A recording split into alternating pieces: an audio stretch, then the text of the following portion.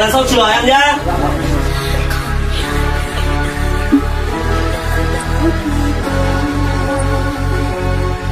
Cách trở lại cũng ấn tượng đấy chứ Nếu ngay từ đầu các ngươi không xuất hiện lập ra những chuyện vô bổ Thì có lẽ ta đã không cần phải thực hiện cuộc đại thảm sát này rồi. Đúng là một thằng nhóc rắc rối không biết tự lượng sức.